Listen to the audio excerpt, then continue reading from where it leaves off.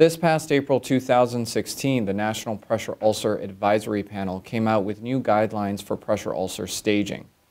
Some of the new things to look out for is pressure ulcers are no longer called pressure ulcers, they are called pressure injuries.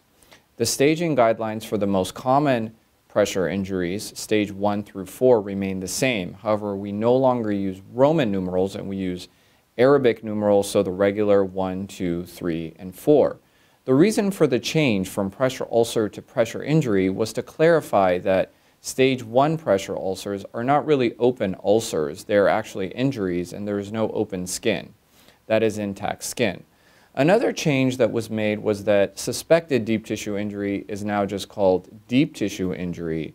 And the panel also created two new categories, which are medical device related pressure injuries and mucosal membrane pressure injuries, which relate to either medical devices or injuries to the mucosal membranes.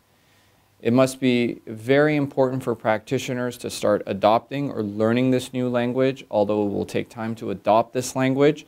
Uh, we will be doing this in our practice at Skilled Wound Care, and we recommend our partners realize this in the nursing facility this will probably be something that will come about in the MDS guidelines in the future, and people must be aware of this.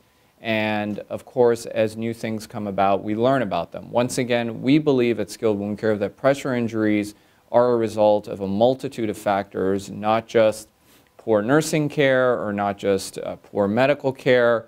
And we really want to work together as a team to provide a partnership in healing.